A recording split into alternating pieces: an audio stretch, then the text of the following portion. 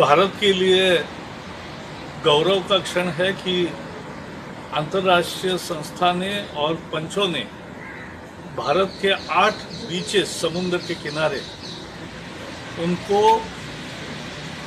Blue flag दिया है।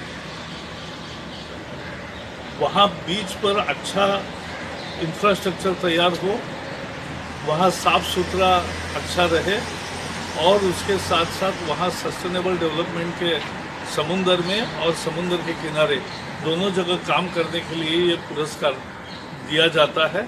और इसमें शिवराजपुर द्वारका में, घोगला दीव में, कासारकोड और पदुबिद्री कर्नाटक में, कप्पड़ केरल में, ऋषिकोंडा आंध्र प्रदेश में और गोल्डन पुरी उड़ीसा में और राधानगर अंडमान निकोबार में।